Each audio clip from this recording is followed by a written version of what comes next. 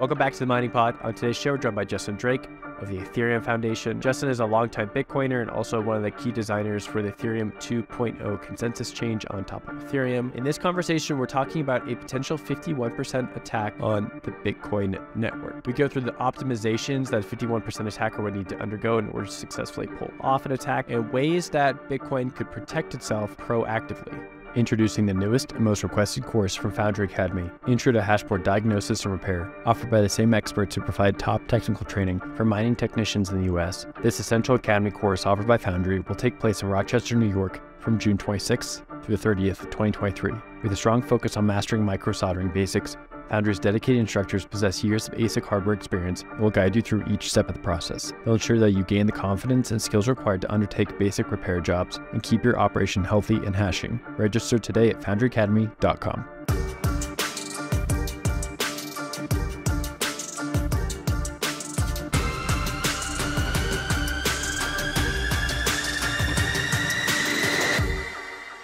Justin, welcome to the Mining Pod. I am quite excited for this show. Uh, we're talking about a theoretical 51% attack on the Bitcoin network. Definitely a mining topic. Also, definitely a topic we have not had on the show before, but one that I think will certainly cause a lot of controversy. Uh, but first and foremost, welcome to the show. Thanks for having me, Will. So, just before we jump into it, uh, let's get a quick rundown on yourself for those who are not familiar. And I've been following your work for years now, so I'm fairly familiar and a big fan uh, but for those who are not involved intimately with what you're doing. Sure. So um, I discovered Bitcoin in 2013 uh, through a friend, and I uh, started the Cambridge Bitcoin Meetup Group in the UK. Um, kind of organized Bitcoin events. I also uh, bought a Bitcoin ATM in Cambridge, so I was, uh, you know, receiving British pound notes and then sending Bitcoin to whoever wanted to, to buy it. And I did this as a public good, basically didn't really take a cut uh, for, for myself. Um, and then I started a Bitcoin company. Um, I was uh, building on top of a project called Open Bazaar. Open Bazaar was a, peer-to-peer Bitcoin uh, marketplace um, that was meant to be, you know, without intermediaries such as eBay Inc. or or or you know, uh, Uber or Airbnb. Um, and then my uh, you know my company didn't do too well and open bazaar didn't do too well and i basically was interested in ethereum because it was solving a lot of the, the, the problems of open bazaar because building a marketplace is difficult right you need all sorts of components that are very expressive you need programmability and that that is what kind of naturally led me to ethereum and um, i saw a talk you know i wanted to build i wanted to contribute i saw a talk by uh, by vitalik on this Ethereum open problem called the data availability problem. It's about scaling blockchains uh, sustainably while keeping decentralization. And I had a few ideas. I emailed him, and he hired me to join the Ethereum Foundation a few weeks later. And I've been at the Ethereum Foundation for for five years. But you know, I, I still think of myself as a Bitcoiner, at least from a sentimental standpoint. Uh, you know, I still hold one Bitcoin, you know, almost as a, a sentimental NFT. Um, and um, you know, I, I actually think that Ethereum is kind of the natural kind of continuation almost of, of, Bitcoin. And if there's anything I can do to help improve Bitcoin, that's that, that that's something I'm excited about. And I think there is a lot of opportunity for improvement for Bitcoin, but it does come at a, at a, at a big cost, which is that to you need to break ossification. Uh, but maybe breaking ossification is necessary, and that could be the topic of the discussion today. Definitely, ossification is something that's coming around right now with a whole inscriptions and ordinals debate going on. Uh, so mm. definitely a, a, topic of the moment. Let's dive into what you're working on. Uh, I've seen, I don't know when it was, might have been a while ago, but you've had some work on 51% attacks. You've had some like thoughts on them in the past. And for those who are not familiar, 51% is probably know, top three, top five sort of pressures on Bitcoin or theoretical pressures on Bitcoin that could lead to the shutdown of the chain or at least a halt or you know, downward pressure on the price of Bitcoin. Uh, and it essentially goes along the lines, I'm going to hand this over to you, Justin, that if a mining entity is able to control 51% of the hash rate, then they're able to impose certain conditions on the chain, which would make transactions more or less infeasible. This has not really happened in Bitcoin's history. Uh, depending on how you look at Bitcoin's history, this has not really occurred. And it seems to be coming more and more unlikely given that Bitcoin has industrialized and those Bitcoin miners are public and things of that nature. But that's not necessarily the case. And that's why we're here today to discuss what a possible 51% attack on Bitcoin could look like.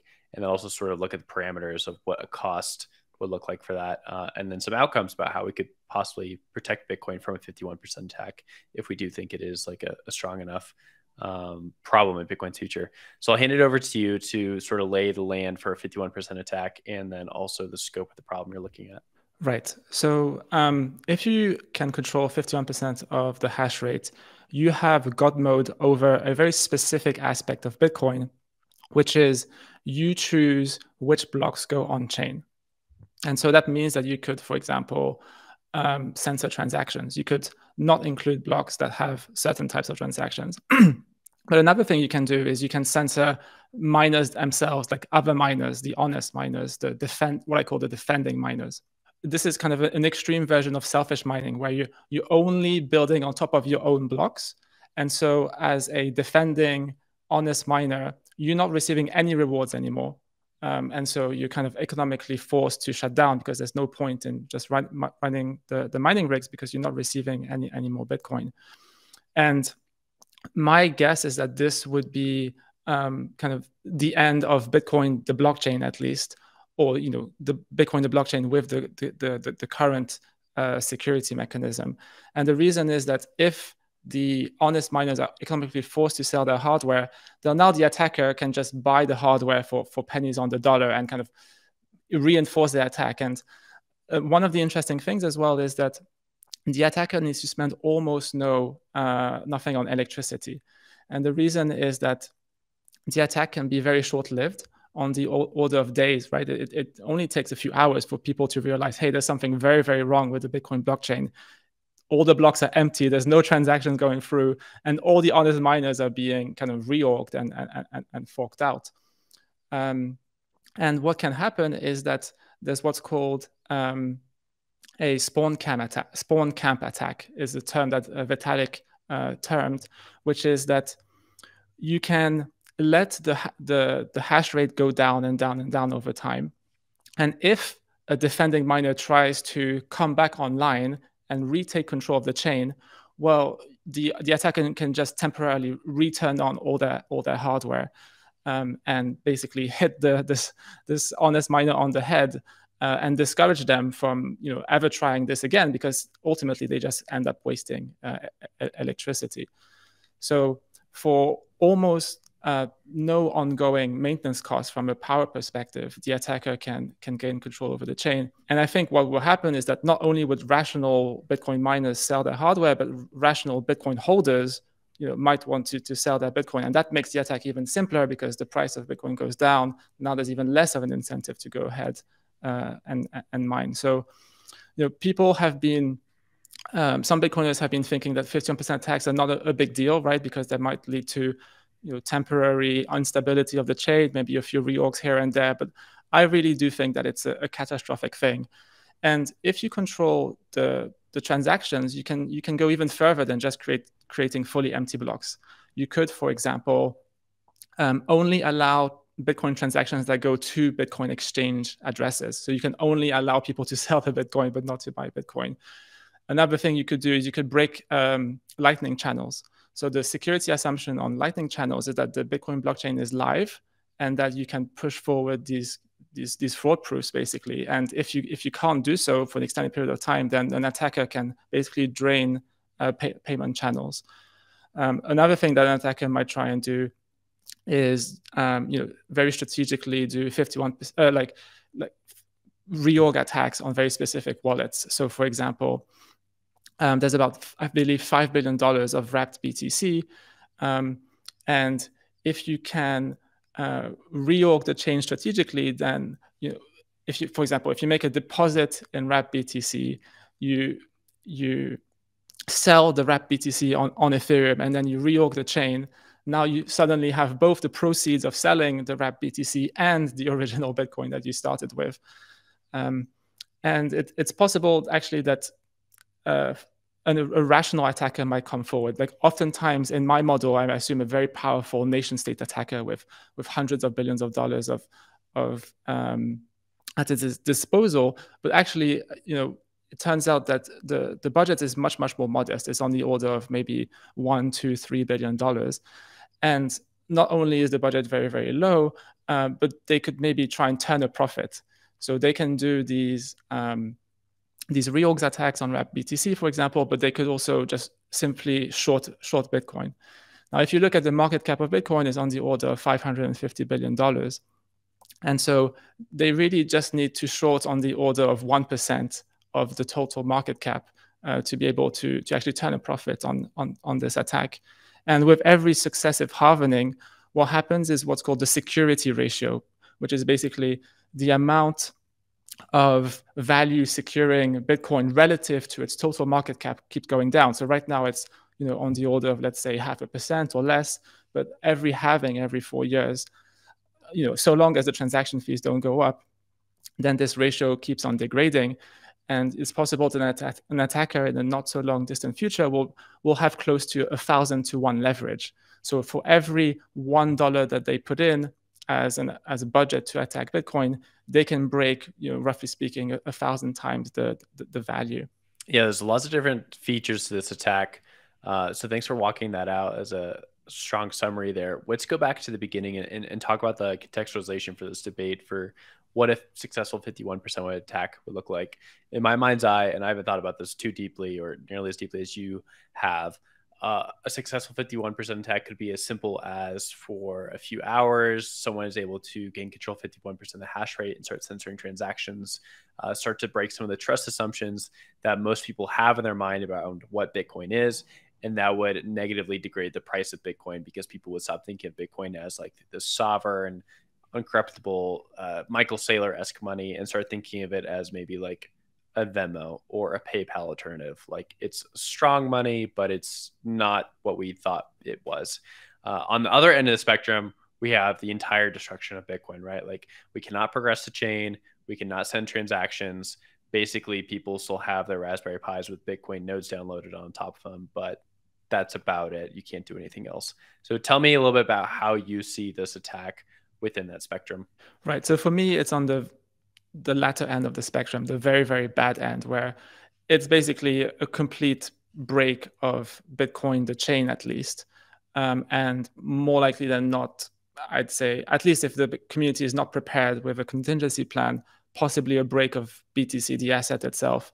And like one of the, the easy reasons to see this is that the defending honest miners just have to completely leave the system because these are businesses, they're rational entities um, that you know need to to turn a profit. And they would have only expenses and literally zero profit. And the reason they'd have zero profit is because the attacker would not allow them to to have profit. And it's even worse than that because uh, because of the way that bitcoin is structured it doesn't have base layer privacy.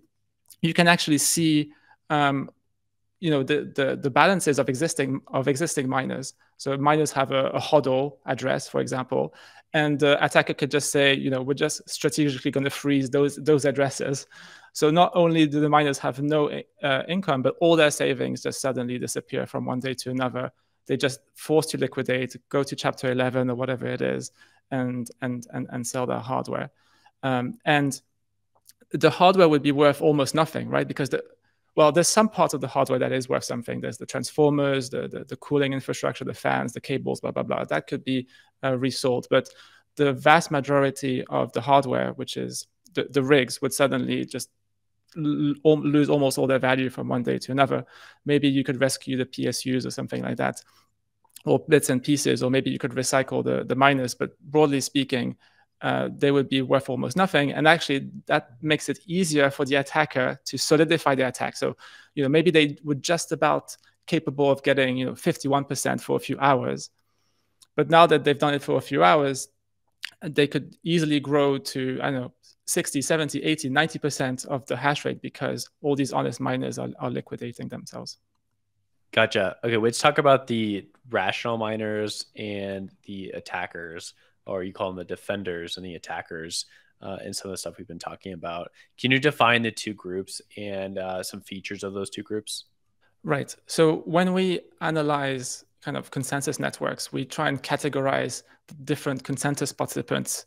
So we talk about, for example, honest participants that just follow the rules all the time, and then there's this more refined category of rational actors um, that you know just try and behave in their own best interest. And then we have these malicious entities that just try and they just want to see the world burn, and they just the only goal is to try and, and, and destroy the, the, the consensus. Now, the way that I think about it uh, for Bitcoin is that there isn't really this concept of honest uh, miner. Like every almost everyone's rational. They're in it as a business. They're in it for the for, for, for the money. And you know, really, their goal is to try and defend Bitcoin. And they have they're playing the long game, right? They're buying hardware which is going to be mining for half a decade, maybe even more. And really, their goal is to try and, and defend and secure uh, Bitcoin. And they have a certain set of, of economics. So, for example, they care very, very deeply about uh, the, their electricity cost. They also care very, very deeply about the energy efficiency of their Bitcoin miners. And if I were to kind of categorize, you know, label as to what, what, what they care about, it would be OPEX the, the, the cost of maintaining this hardware. And it, the reason is that they're playing this very, very long game. So they're amortizing uh, their strategy over, over years. And then on the other hand, you have these uh, malicious or kind of attacking miners who want to try and, and break Bitcoin. And you know they can try many things, but the, the thing that makes sense to me, in my opinion, is just to make a, a, a quick and short attack on the order of, of days. And so they're playing the, the short game.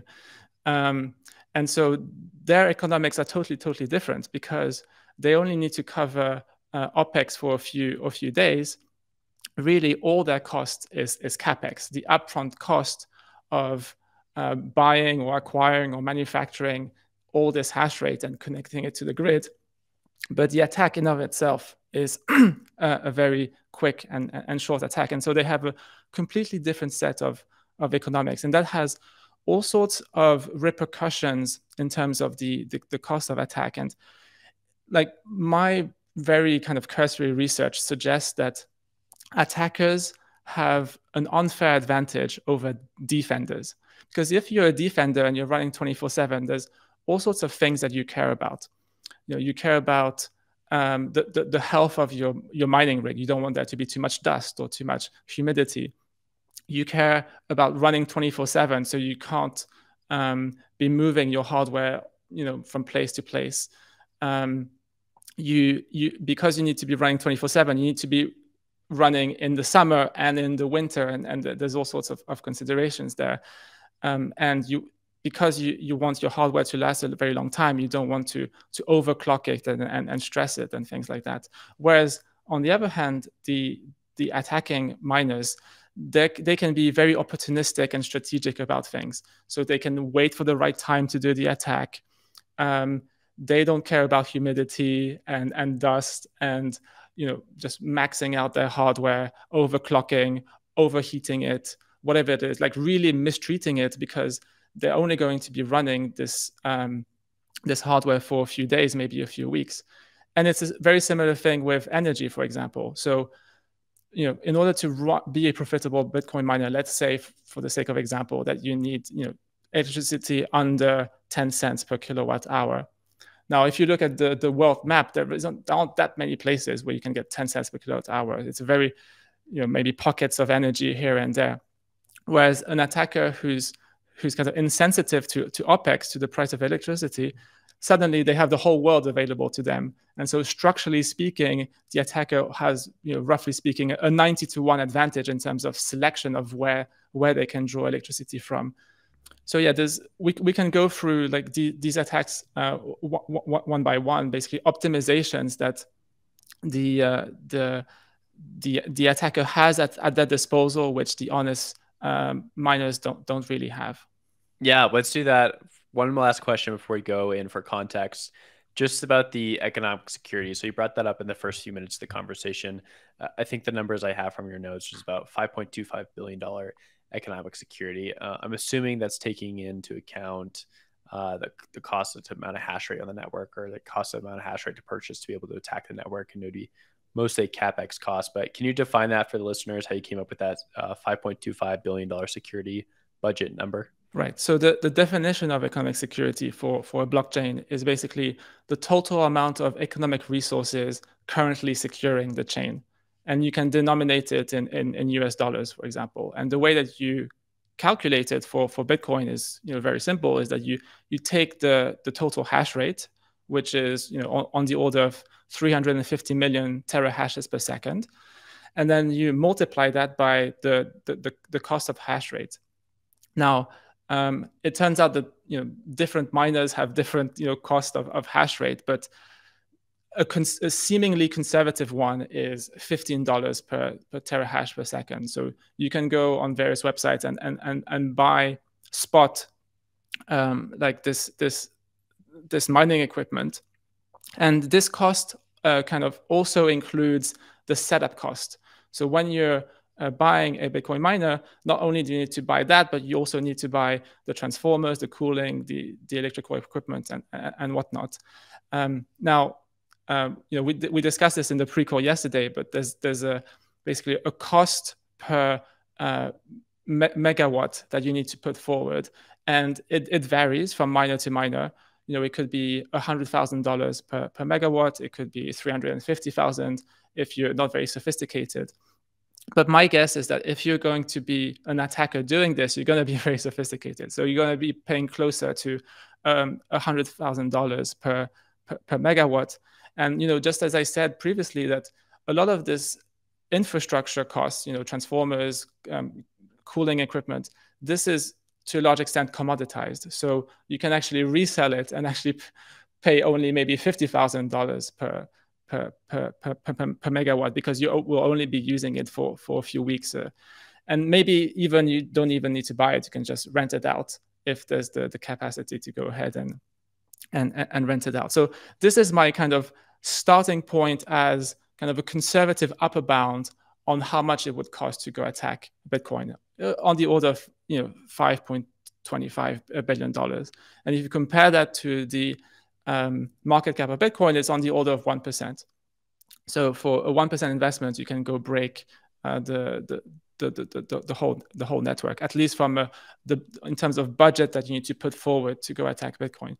But it, you know, as we can talk about, my, my kind of my claim is that the actual cost that, that uh, an attacker would have to put forward is much, much less. It's on the order of three times less.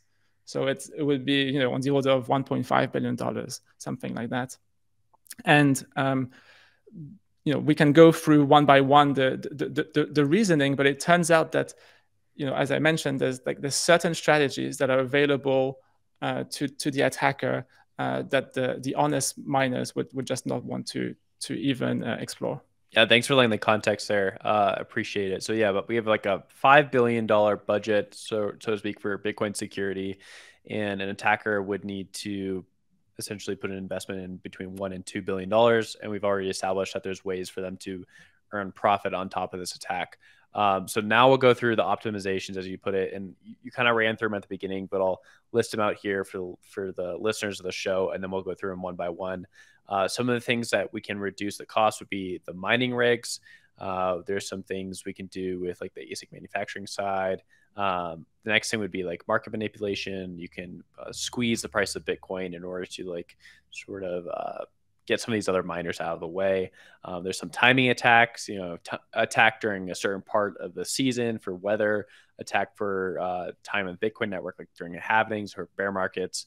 Uh, there's some sabotage tactics even in here because we're not necessarily assuming that everyone's doing things legally in this situation. Uh, so let's go through these optimizations. They're all really fascinating. Um, starting off with the uh, reducing the cost of ASIC mining rigs. Right. So the, the, the, main cost for the attacker will be this capex of just acquiring the, the, the, the mining rigs. Now, um, the brute force way of attacking Bitcoin would be to look at the existing amount of hash rate, 350 million terahashes per second, and, and, and matching it.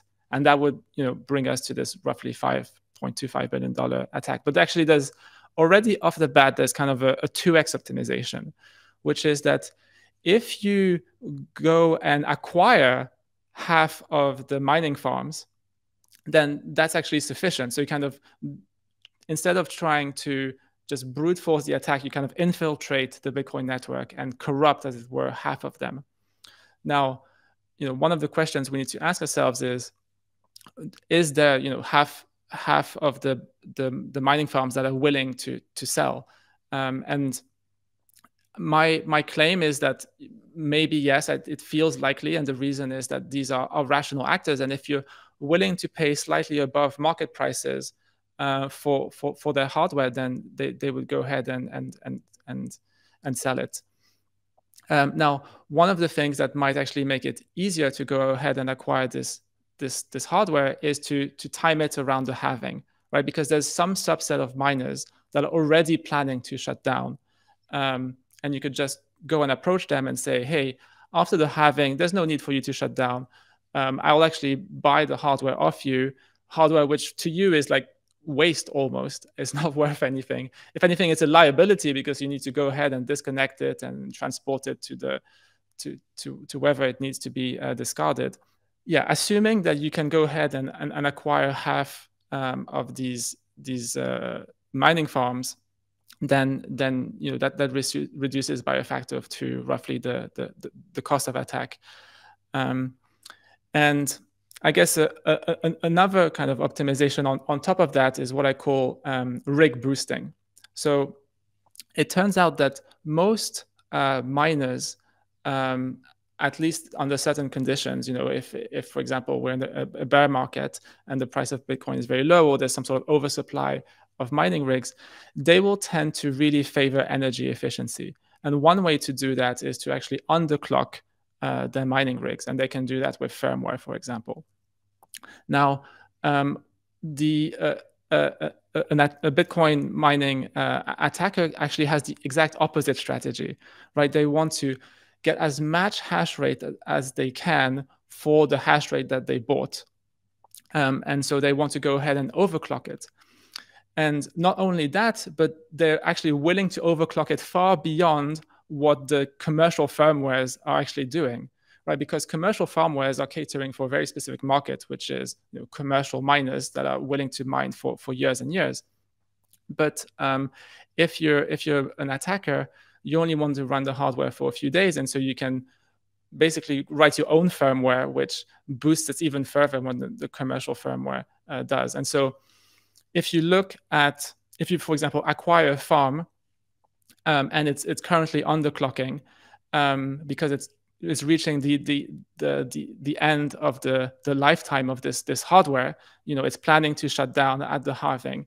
Well, you you can maybe get a fifty percent boost uh, on that, and the reason is that not only would you not be underclocking it, but you'd be overclocking it on top of that, and you'd be overclocking it to to to, to the max. Um, and so in, in in that situation, if you have if you acquire roughly one third of the of the hash rate and you boost it by 50%, then tada, you know, you've reached your, your 51% threshold. So um, that's kind of one way to see that, you know, roughly dividing by three, the, the, the, the, the, your, your budget is sufficient because you only need to go ahead and acquire one third of the mining farms and then and then boost them. One idea that I had this morning on the on the boosting is that you, you can do what I call hemisphere arbitrage.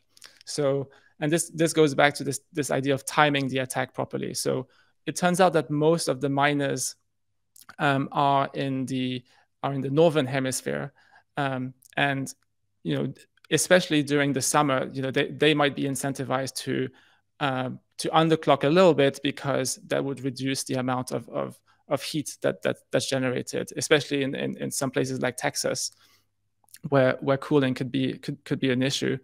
And so one of the things you you you you, could do is basically um, set up your mining rigs in in the the southern hemisphere, whereas the exact opposite is going to be winter, and and it kind of makes the the the boosting even even simpler because you benefit as an attacker from the tailwind of winter, and then all the defenders that are in the northern hemisphere have this this headwind of of the the, the summer heat uh, that that's making the attack uh, harder.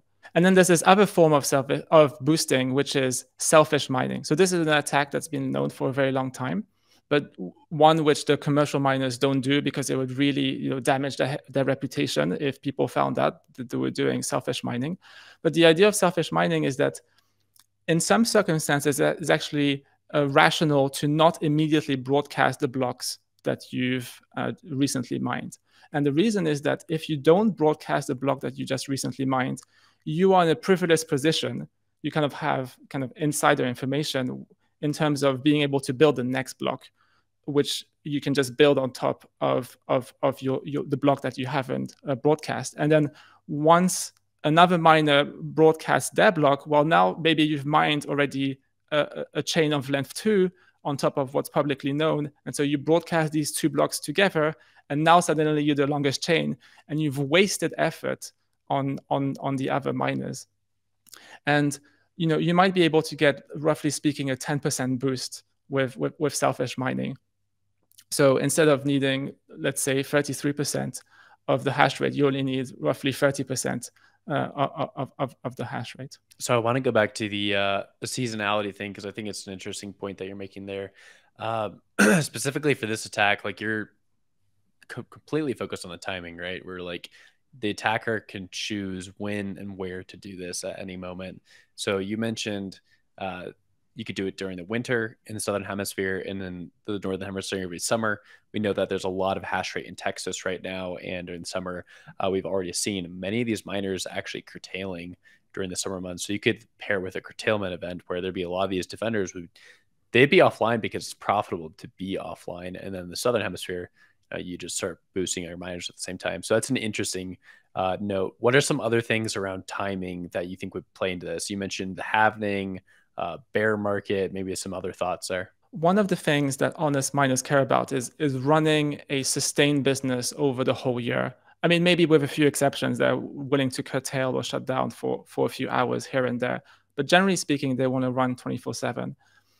Um, so no, one one of the things that the the attacking miner can do is just pick a location where um, it just turns out there's a there's a lot of excess electricity, but for a very small amount of time.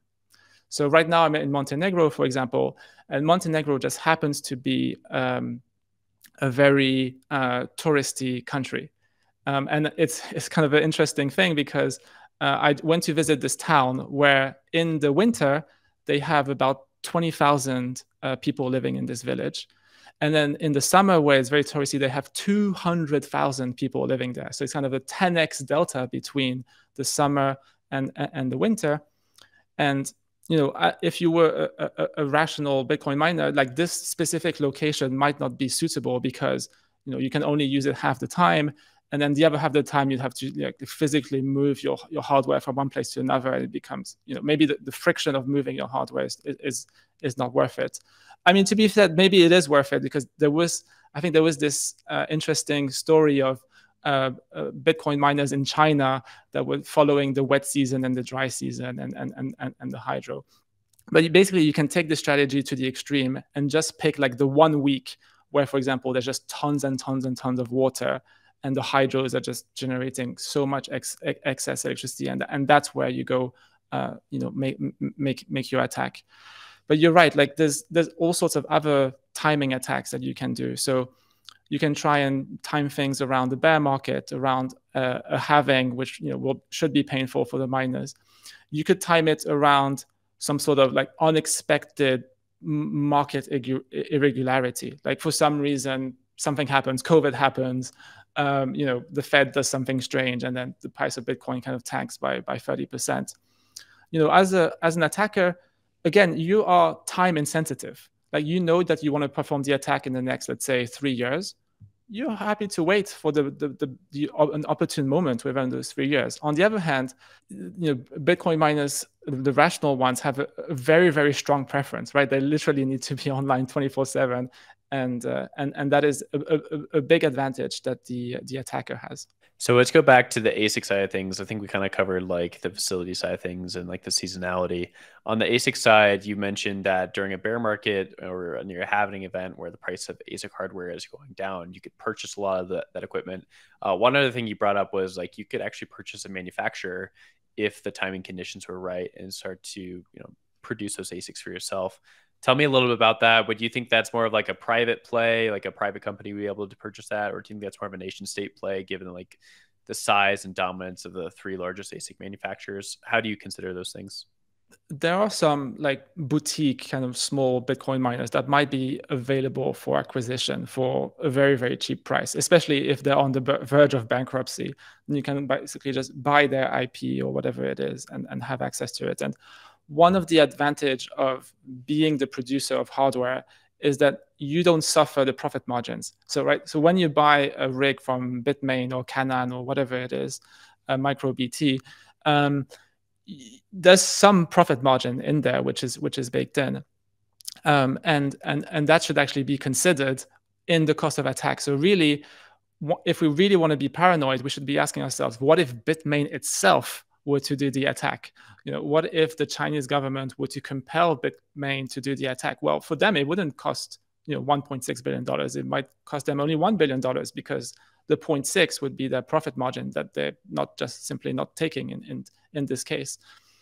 So yeah, I think there is an opportunity potentially to to buy a Bitcoin miner if if you can't just acquire uh, the, the mining farms because that's that if, if you want to be really really lazy that's just the, the simplest way to do it. And by the way one of the things that you want to do if you're going to acquire one third or, or so of the the mining farms is you want to be using shell companies. You don't want people to realize that there's this one like centralized entity that's buying up everything. You want to do it slowly over time use shell entities try and obfuscate as much as possible that that that, that something is, is is going on there. But there's if you are willing to uh, manufacture hardware, there's all sorts of optimisms uh, optimizations that become uh, available. So um, and it basically all boils down to uh, capex versus opex. So the way that we manufacture uh, ASICs right now, at least competitive ASICs, is that we're going to use the most bleeding edge process node. It could be you know, five nanometer or three nanometer. I don't know. Um, and another thing to consider is the, the type of transistors that are used. So when you're um, making a, an, an, ASIC, there's this so-called you know, PPA kind of trade-off space. There's a power, performance, area. And more often than not, like my, my guess is that these, these, these mining ASICs will heavily, heavily try and optimize for power. And so they're kind of exploring this one corner of the trade-off space. Whereas an attacker, they don't care about power. They don't care about OPEX. They really care about capex and so they want to use tiny tiny transistors so that they can squeeze as much hash rate per air, unit area of, of silicon and another thing uh, is yeah is, is, is on the, the, the node that they choose so they can just go ahead and, and choose 28 nanometer which is kind of an outdated node but um, the the cost per unit area is going to be much much lower than, than 3 nanometer you, you generally speaking you, you pay a huge premium for the really advanced nodes. And the reason is that you know, very sophisticated companies like Apple and, and Samsung and whatever are just buying up everything. And so there's a lot of competition. But there's almost no competition for the 28 nanometer uh, node. And so you, you, can you can get access to, to this to this node for very, very cheap. And you know, there's an optimization game to be played here, which is to pick the exact right node, which gives you the right trade-off in terms of of minimizing your your, your, your, your capex because what, what tends to happen with the, the, the older nodes is that the transistors are themselves naturally bigger, right? That you, you don't have as much miniaturization. Um, but what tends to happen is that the, the cost of the node kind of overpowers the, the gains that you have from miniaturization. Um, another thing that you can try and do is just completely change the SHA-256 um, circuit uh, design. So I don't even I don't really know what there is going on, but I imagine there's all sorts of tricks to just save on on power uh, that are being leveraged by Bitmain and all these other companies. Well, if you were to just design from scratch your own SHA-256 that is optimized for for OPEX, you, you, you sorry for CAPEX, you, you you might actually end up you know only spending at a, let's say something extreme like like one dollars per terahash per second. Something like this is dramatically cheaper simply because you're starting from scratch and you're optimizing for a totally different uh, a, a problem.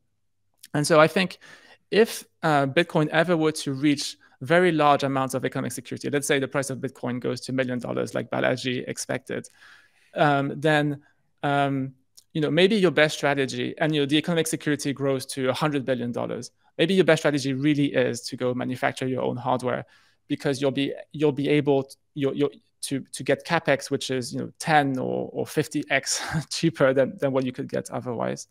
Love it. Yeah there's definitely like a lot of different attack vectors here that uh, are worth exploring or at least like discussing the nuances of each one that you're bringing up to the table. Let's talk about a few more. Uh, let's talk about the sabotage attack. So this is sort of like moving more into like the illegal side of things or if you're a nation state the ability to make the rules on the fly. Uh, in this instance, you bring up the power supplies between some of these larger operations, uh, like the the snip snip attack, as you say. Uh, and then you also bring up the fact that there's you know only so many substations in the U.S. and a lot of these bigger Bitcoin mining farms, the defenders in this case, like the the neutral parties, they're all connected to very many similar, similar substations. So walk us through that part. In in your effort to go, um, you know, acquire uh, farms, you might find some farms that are very, very stubborn and just don't want to be acquired. And so they're like staunchly on the defender camp and want to stay there. Well, what you could try and do um, is to just sabotage these these uh, defending miners. And one of the things that I found pretty amazing is, is just looking at photos, aerial photos of Bitcoin mines. If you look at them, it's like this massive you know operation and then there's these tiny tiny cables which are basically the high voltage power lines that connect this massive operation to to the real world. And it turns out you know you can just do this snip snip attack as you put it which is you just need to cut one or two cables over a distance of kilometers and kilometers to take down this whole operation. And so you could potentially you know just take down you know 1% of the hash rate in one fell swoop just by cutting one or two cables. And you know, if you're if you're an attacker, you could hi- hire a saboteur for whatever it is, hundred thousand dollars to go cut these, these, these cables and and cause a, a, a, basically a, lot of stress on on on these miners. Um, now, one of the things that I learned a couple days ago is that um, not only are these kilometers and kilometers of power lines extremely vulnerable, you know, you're not going to be putting a security guard every 100 meters. That doesn't make sense. Uh, but the um, the substations uh, like the grid itself is extremely vulnerable. So um, there's about 55,000 uh, substations in the US. And there's this uh, documentary by Vice, which kind of explains that an attacker that takes down nine of these substations, nine very strategically chosen substations, can actually uh, produce a coast to coast blackout. Uh, and the reason is that um, you know the the, the grid is extremely centralized, at least in the US and in many other countries. And there's these knock on effects where if you take down some of the key nodes, uh, then that, that, that has ripple effects. And one of the things that the, the this Vice uh, kind of interview goes into is that for the vast majority of these critical substations, there's just almost no security. Um, so again, you could just hire a saboteur, you know, with for you know a few hundred a few hundred grand, and then you know they could come with like special things like these these uh, like shield piercing uh, guns and, and ammunitions and and and basically take down uh, like the grid for some period of time.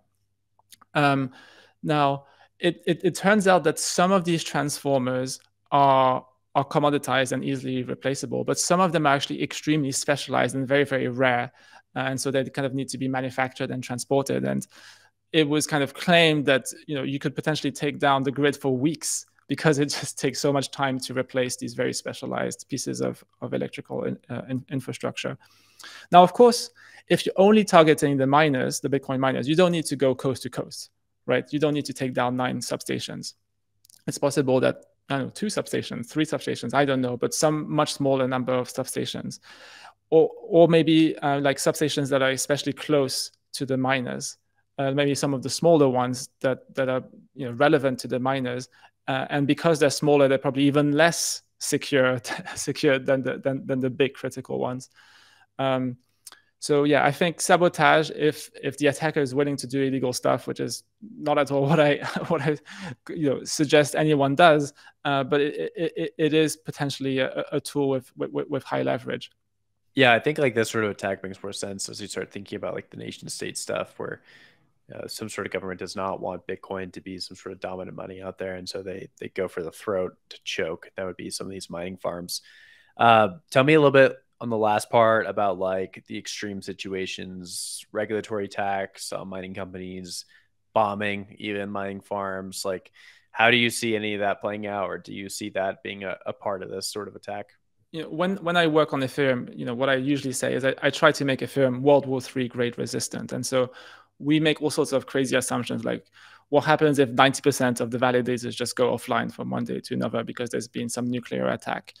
Um, and you know the, the, the goal is to try and get the chain you know keeping having it uh, run. Now one of the you know features i guess of bitcoin mining is that it's very very easy to know where these mining farms are uh, they leave a, a, heat signature which can be uh, which is visible from space even and um, and you know they also leave uh, you know kind of a an electrical footprint uh, sig- signature. So it's easy for, for, for, the grid operators to, to, to sniff them out in the same way that they sniff out, for example, cannabis uh, operations. Um, and I think it was maybe the New York Times, or I forget, that kind of cataloged like all the large Bitcoin mining farms in the US, and they found I forget what it was, 42 or so. And so, to a very large extent, we know exactly, you know, down to the meter where these operations are.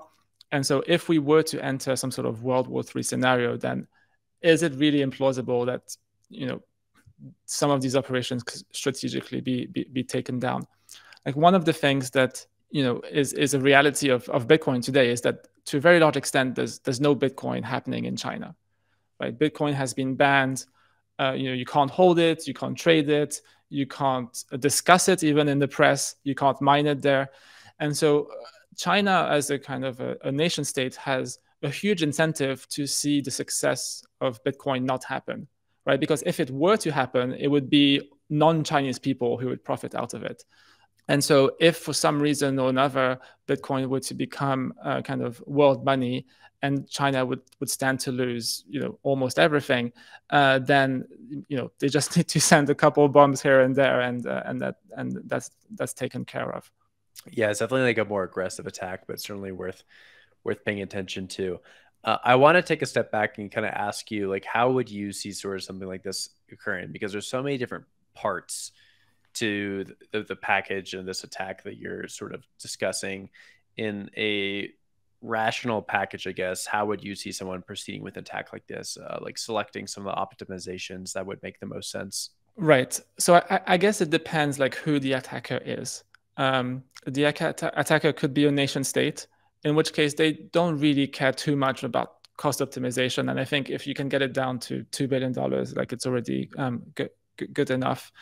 Um, and, and, and really it's a matter of, of, of, pulling it off. Now, one of the, the tools that I, we haven't discussed yet is this idea of market manipulation and this idea of credible commitments. So the, the game theory of credible commitments is that if you can make a credible commitment about an event happening in the future, then really all rational actors should believe that this event will indeed happen, and um, you know they should plan for it. And so one of the things you could do is you could make a credible commitment to attacking uh, Bitcoin. So for example, China could say tomorrow we're going to attack uh, Bitcoin. Another way to to make a credible commitment is to actually do it economically. So the, an attacker for, could, for example, take hundred million dollars and then put it in a smart contract on, on Ethereum. And the smart contract will destroy the $100 million unless a proof that a 51% attack on Bitcoin ha- has occurred. So, for example, the proof could be like a very long chain of a thousand blocks, all of which are empty. Um, and and and once you have these, these these credible commitments, rational actors like like Bitcoin holders and Bitcoin miners are actually incentivized to to sell as, as quickly as possible. And here you kind of have this this race to sell, right? If you're the first one to sell, you're actually in a much better position than the last one who's going to sell. Um, and you know that could be potentially a strategy that is used to go acquire the farms. you know, you go visit the farm and you're going to explain, hey, you have two choices. Either you sell it to us today for a reasonable price, or you know, you, or you know, you have the opportunity to sell it after we've attacked, but at that point it will be too late and your farm won't be worth anything. So it can almost be used as blackmail to basically um, force the attack into into reality. And not only uh, do we have the miners as rational actors, but we have the Bitcoin holders so Bitcoin holders who could see publicly that there's this credible commitment going on, um, either because the nation state said, you know, we're going to do the attack, or because there's this economic uh, proof that there is a commitment to making the attack, they would be incentivized to sell and thereby making the attack even easier. Now, another class of actors other than nation states would actually be, you know, business magnates of sorts. Um, so if you take, you know, Elon Musk, he spent forty billion dollars on on Twitter. You know, for him, two billion dollars is pocket change. He can go attack Bitcoin, you know, twenty times over. Um, and like some people could potentially be convinced to to try this attack for for profit, like as a as a as a profitable you know exercise.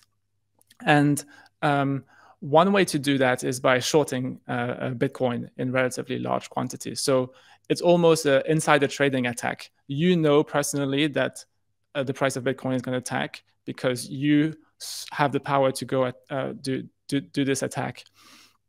Um, and it turns out that the, the process of shorting Bitcoin itself makes the attack simpler.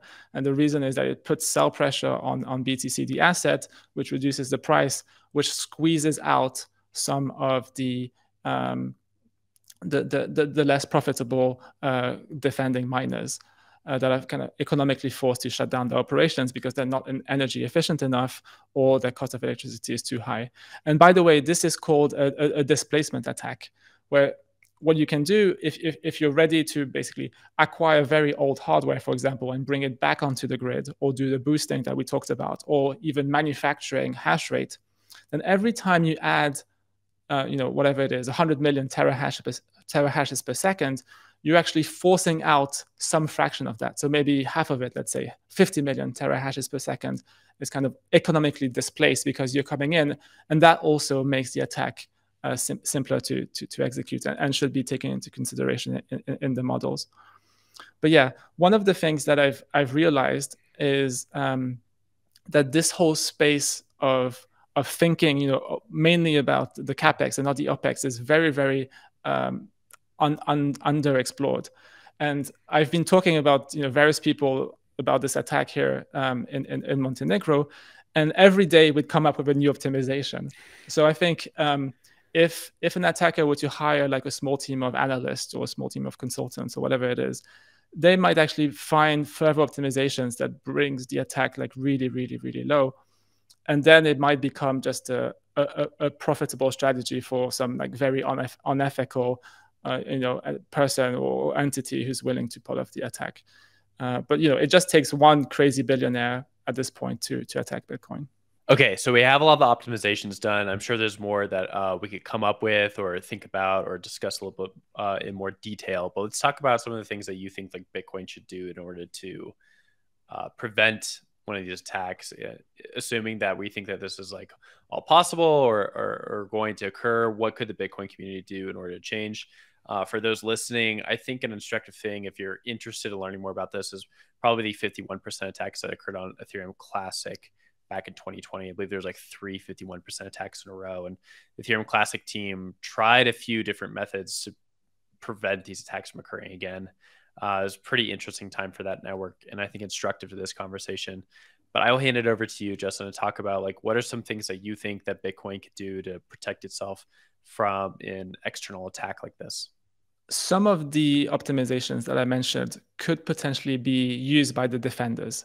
So some of the mm-hmm. boosting strategies, for example. So if you look at selfish mining, the honest players could also collude with each other and coordinate a, a selfish mining operation.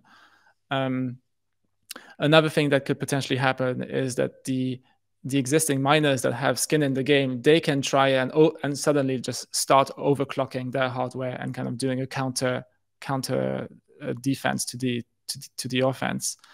Um, but all of these are like in a way, relatively weak uh, in the sense that um, the attacker just needs like slightly more budget to go to go uh, do do this. And you know, maybe we're asking a little bit too much in terms of the defenders to coordinate, right? Because it, it, really is a bad look if Bitcoin has to you know, do selfish mining in order to defend itself. And it's also a bad look if we're basically asking the the rational miners to behave irrationally, um, to you know maybe spend more in electricity than they re- receive it in terms of, of, of, Bitcoin rewards, purely for the sake of of, of uh, securing Bitcoin.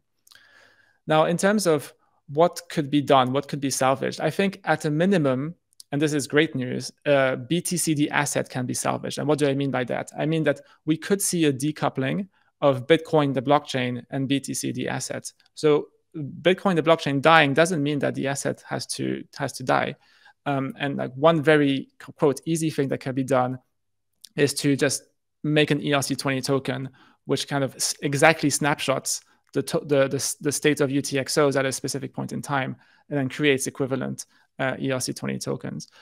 But there is kind of a, a downside to that is that you're you potentially leaving a lot of granularity and, and, and, and smart contracts that exist on Bitcoin today. So, you know, we have the ordinals, we have the BRC20s, we have the lightning channels that are open. And so really you want to try and preserve all this structure if you were to uh, jettison the Bitcoin, the, the, the, blockchain. And it turns out there's a very easy way to do that, which is to create um, a Bitcoin rollup on top of another chain, which is secure. Uh, so for example, you could do a Bitcoin rollup on top on top of Ethereum. And you could even keep proof of work if you wanted to. So proof of work would stay there as a, a mechanism to for distribution, but it wouldn't stay there as a mechanism for security. So you just copy paste the rules of Bitcoin, put them as a rollup uh, on top of Ethereum, and you preserve both the token and the structure of the smart contracts, as well as proof of work as a, as a distribution mechanism. Now, if it turns out that uh, Bitcoiners just find it totally unpalatable to move to Ethereum. Uh, like other things need to happen. Basically, the, the, the, I think the Bitcoin blockchain needs to change. Um, one of the very easy changes is to have tail issuance. So to kind of jettison this uh, social contract that there will only be 21 million Bitcoin and just have, for example, a 1% tail issuance. And that will basically guarantee that the security ratio won't degrade over time. So as I was saying at the very beginning, every time there's a halving and the transaction fees don't keep up, um, then the, the security ratio suffers, and that gives you know, potentially a huge amount of leverage uh, for an attacker. So you want the total amount of value securing the chain to be you know relatively large compared to the total uh, value that is being secured.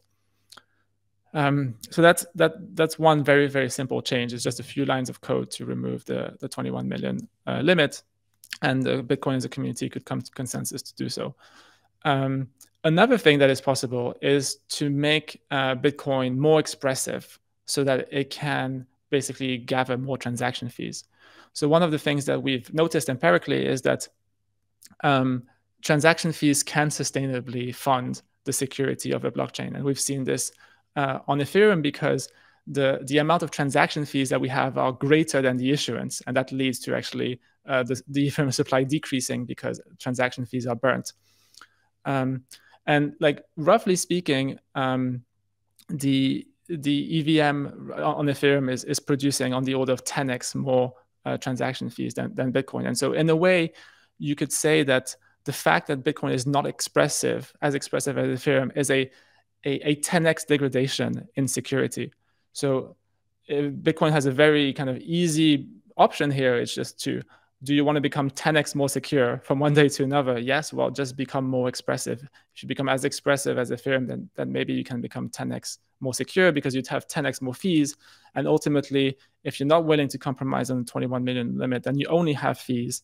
And so your security is basically linear in the amount of fees. And so expressiveness is a huge unlock uh, for, for, for Bitcoin. Uh, another possible option is just to um, dramatically improve the uh, the efficiency of, of Bitcoin as a consensus network. So what do I mean by efficiency? I mean the ratio of the amount that you need to uh, you know give to the to the consensus participants relative to the amount of security that you get from those consensus participants. Now, one of the things that we we know empirically, um, just because the two systems exist in parallel, is that proof of stake is roughly 10x more efficient. So for every unit of issuance or of reward that we give these consensus participants, we get 10 times more uh, economic economic security. And today, um, for example, Ethereum enjoys 35 billion dollars of economic security, which is roughly uh, you know 10x more than more than Bitcoin, and it, it can do so at a fraction of the issuance. Um, and, and that's purely because of, of technical technological innovation um, just basically improving the efficiency of an engine. You can think of it as moving from a combustion engine to an electric engine is like a shift of paradigm, and the cost of security goes down significantly. Um, and then I think a very interesting option that you know Bitcoiners may want to consider is uh, fee smoothing. So if you're only going to uh, be secured by fees, you want to be secured by fees during the bear market in addition to during the bull market. And it turns out that uh, Ethereum has invented a mechanism called EIP 1559, which is basically a, a smoothing mechanism for fees. So what can happen is that during bull markets, um, there could be an accumulation of uh, Bitcoin tokens uh, for for the for the bear markets to go you know secure the the, the bear markets. So you could have a, a smoothing on the order of, of, of years and, and, and not have to, to suffer from the, the cyclicality and the spikiness of, of, of transaction fees. Um, so one of the things that we, we know empirically just by looking at the, the 15 years of data roughly that we have for Bitcoin transaction fees is that it, it, it transaction fees kind of go crazy for some period of time. And it's the same on Ethereum. And then there's these prolonged bear markets. Um, and really what happens is that during the during the bull markets you're overpaying for security. And then during the bear markets you're underpaying and you're actually exposed to an attacker. And going back to this timing thing that we mentioned the fact that there's this cyclicality is amazing for the attacker because then they just pick the right moment where bitcoin is is the weakest to go uh, perform the attack. It's like stabbing someone in you know from the back in the dark. You know they're just not expecting it. Um, and this, this idea of smoothing the transaction fees over prolonged periods of time removes this uh, one of the timing attacks that's available to, to the attacker. Any thoughts on like some of the more classic 51% attack protection mechanisms we've seen, uh, such as like changing the hashing algorithm. So you're like basically nuking everyone's hardware, everyone's starting from zero. Uh, there's other things I've seen, such as like uh, checkpoints, where every you know, 100, every 1,000 blocks, you have a checkpoint that everyone has to sync up to. And then past that, everything is basically finalized. Um, so if you do, if you are rolled back, like you at least have a checkpoint for everyone to build on top of. Um, things of that nature. Any any thoughts on those? Right. So checkpoints are helpful if you want to prevent uh, reorg attacks.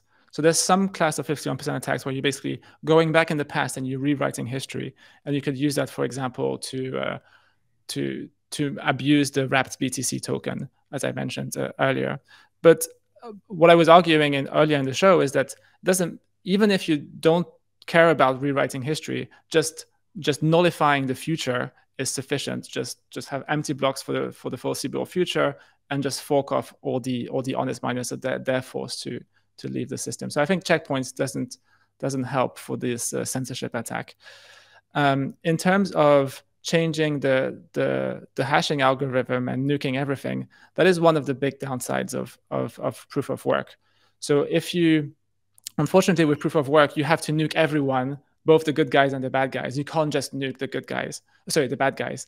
Uh, and in with proof of stake, there's this kind of unfair advantage that it has, which is that you can very precisely identify the bad guys and just nuke them only and carve them out. It's a little bit like identifying a cancer and very carefully excising it and removing the cancer, but you, you leave the body, the rest of the, the, the organism uh, alive.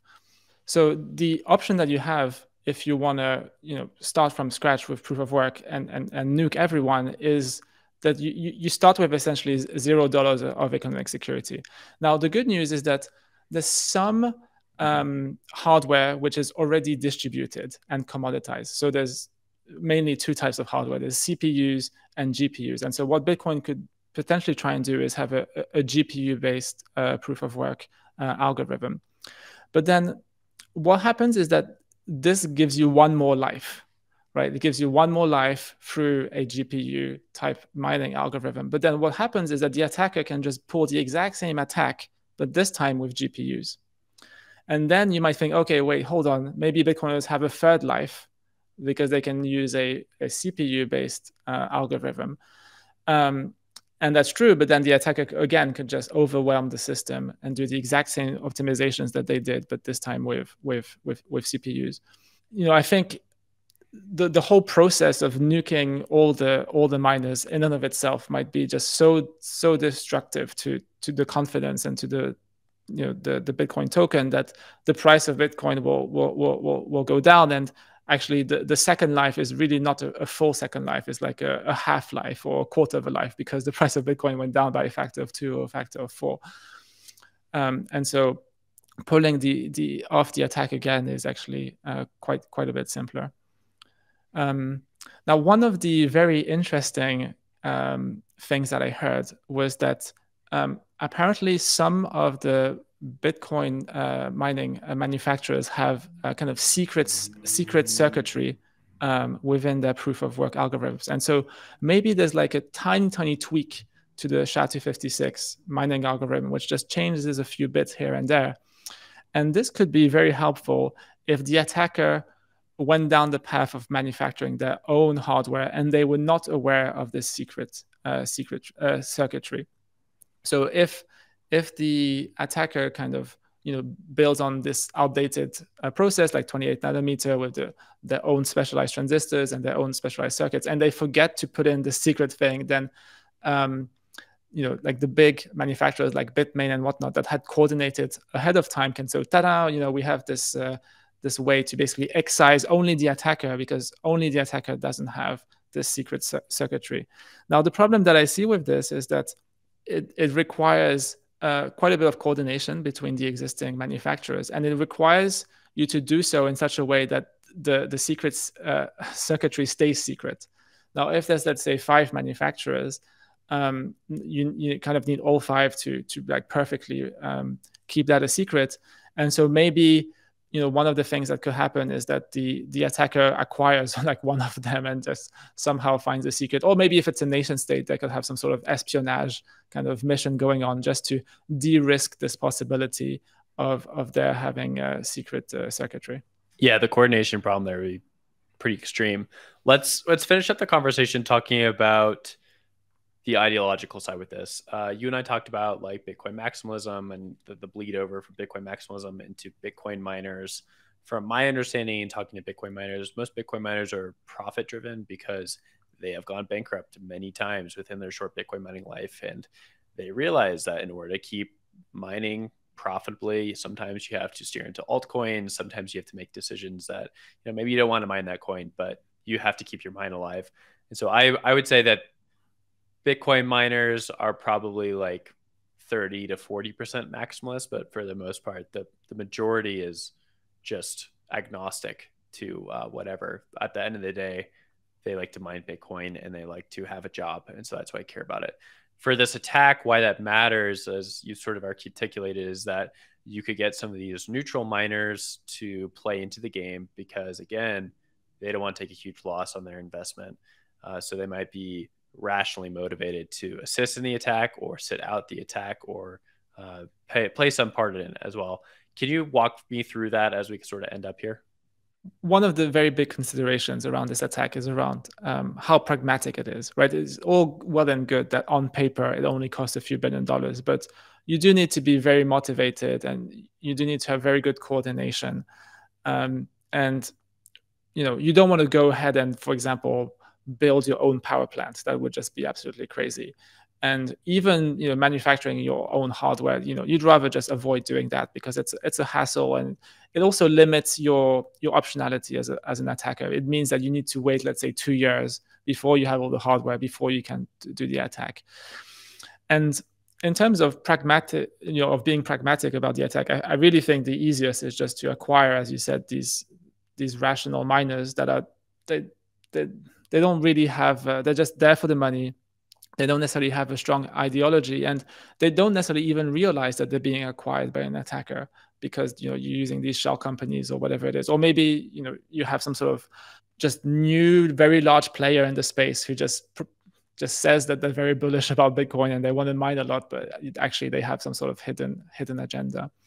Um, so yeah in terms of making the attack pragmatic it's really good if you can simultaneously buy the mining rigs all the supporting infrastructure in terms of cooling and and uh, and transformers and the access to the power right? Because getting gigawatts of power is not always you know that that trivial.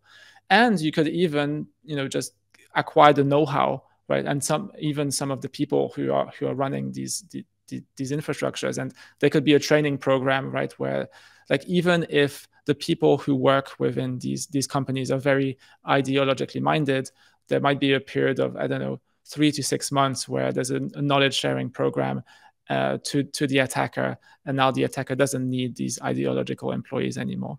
Yeah, it's certainly like a, an interesting angle on the whole thing. Um, Justin, I want to thank you for your time. Uh, this has been a really interesting show, and I am excited to get some feedback from it from our listeners and just from the, the Bitcoin and crypto community at large. And hopefully, we can have you on again once we get some of that feedback. Uh, but thank you again for your time today. Thank you, Will.